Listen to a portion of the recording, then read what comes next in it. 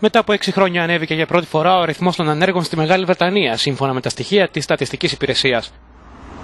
Η ανεργία ανέβηκε στο 4,4% με 46.000 περισσότερους ανθρώπους να τίθενται εκτός εργασίας το τελευταίο τρίμηνο του 2017. Η άνοδος είναι μόλις το 0,1% αλλά προκαλεί ανησυχία στο City που δεν περίμενε αλλαγή στο ποσοστό.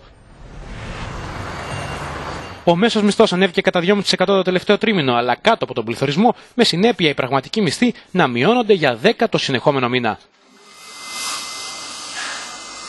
Σύμφωνα με τον διοικητή της Τράπεζας της Αγγλίας, η μισθή είναι 3,5% κάτω από τις προβλέψεις της Τράπεζας πριν από το δημοψήφισμα του Brexit.